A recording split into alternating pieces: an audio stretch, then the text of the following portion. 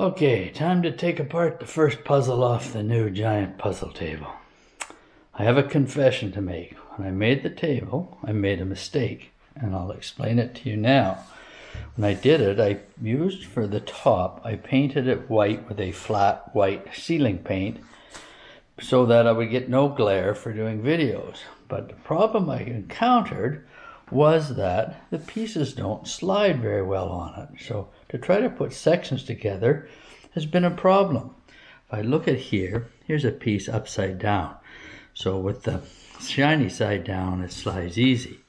But yet these pieces here, you try to move them, they don't move. So makes it tough.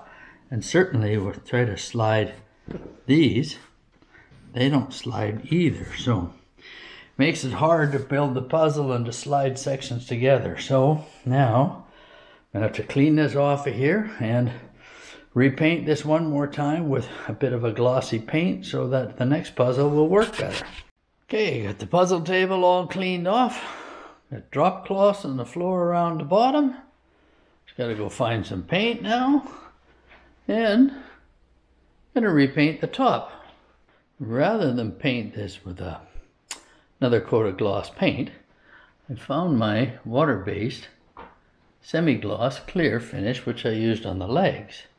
And I tried a small bit here on the corner and it seems to work out very well. It doesn't damage the paint any. And we'll try it with a puzzle piece or two. Is it dry already? Oh, and they they slide certainly easier than they do in the table. So, so what we'll do is we'll take a brush and we'll give it a coat and see what it looks like.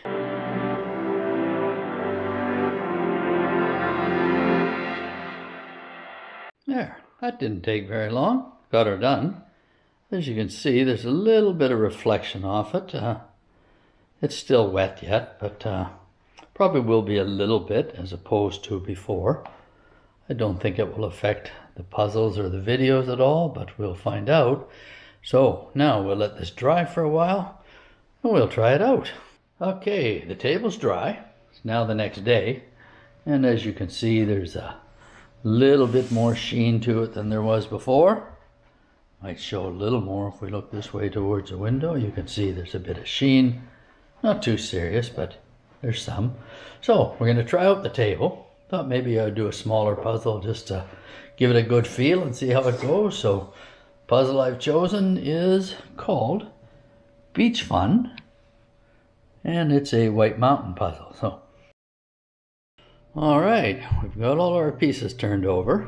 And as you can see, with my giant puzzle table, as I like to call it, you can see there's plenty of room to lay out all of the pieces for a thousand piece puzzle. And this one being a white mountain puzzle, the pieces are actually quite large. So even doing a white mountain for a thousand piece puzzle there's no need for sorting trays. I shouldn't say that. I uh, have one tray here which I sort the edge pieces and then the rest are here on the table. And as you can see, there's lots of room to work, plus look at all pieces all the time.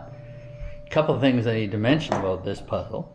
One of them is the color of the backs. A deep purple. Never seen that before. It's not bad. really makes it easy when you realize, oops, I didn't turn one over. So, oh, there's another one. So, not too bad. The other thing being is, on this particular puzzle, I have found a number of pieces that have not been cut all the way through. And to take them, try to take them apart without a good knife is not even really going to work. As you can see, they're not, they're far from being cut all the way through. There's quite a number of them. So, so I might actually feel like I'm cheating a little because I'm not putting every piece together, but I don't want to risk damaging the pieces. So now we're going to get to work and see how uh, see how it feels putting a puzzle together on the table. As I mentioned before, one of the things was is how easy did the pieces slide? Well, as you can see, they move around they're very easy to move now with the new paint finish on the table.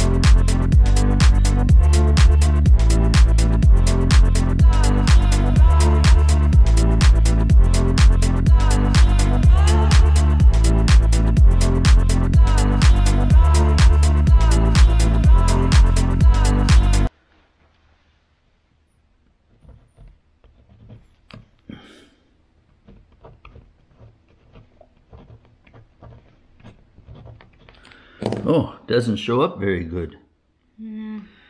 Anyway, last piece. Last piece goes in. Wait, wait. Okay. Hmm. Finished. White Mountain at the beach. Done. If you like this video, give me a like. If you uh, haven't subscribed already, please subscribe. And with that, we'll leave it there and we will catch you on the next video.